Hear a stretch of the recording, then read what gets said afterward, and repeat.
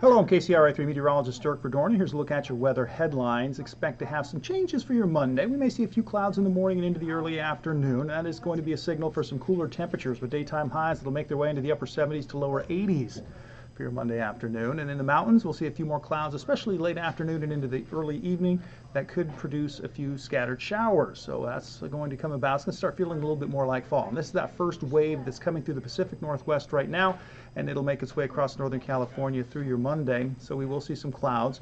Most of the cloud cover in the morning, but I think we'll still see some in the afternoon with temperatures peaking in the upper 70s to lower 80s with a forecast high in Sacramento of 81 degrees. And then we get cooler from there through Tuesday, Wednesday, look at Thursday, bottoming out in in the mid 70s for daytime highs, and overnight lows will be ranging in the mid to low 50s.